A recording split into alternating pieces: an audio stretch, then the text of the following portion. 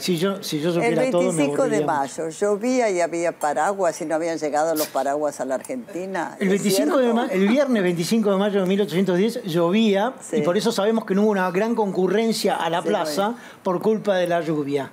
Los paraguas que había en aquel Pero- tiempo eran sombrillas más bien Eran sombrillas. y medio imper- eh, poco impermeables y que se usaban tanto para el sol como para la lluvia. Si tuviéramos que ver la lámina del 25 Sí. de mayo, podría haber uno, un paraguas de esos. No, no. No habían llegado, Todo, todo ¿no? ese techo de. de- de- No, no, le no. quite la fantasía. pues. No, le quito. La bueno, fantasía es linda. ¿no? Bueno, porque eh, en, los actos, en los actos escolares, bueno, tenemos la vendedora de empanadas. Cuando las eh, vendedoras de empanadas caminaban un trecho de 20 o 30 cuadras hasta las plazas para vender, las empanadas que llegaban no estaban calientes ni quemaban los dientes, ¿no? Por supuesto, ya estaban un poquito más fresquitas, ¿no?